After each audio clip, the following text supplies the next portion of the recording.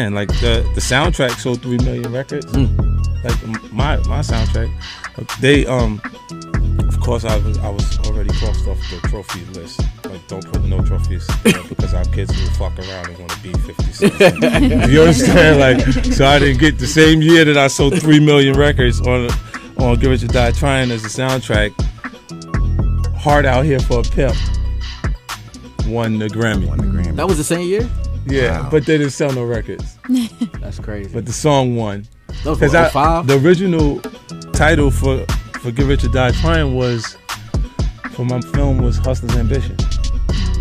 But my co-star Terrence Howard had Hustle and Flow on the way, so I changed it. You know, based on that. That's crazy. That's your co-star. And when he see me, he said, "Man, I, boy, I didn't know you was gonna do all of this, man." you know, what I'm saying? We we go back from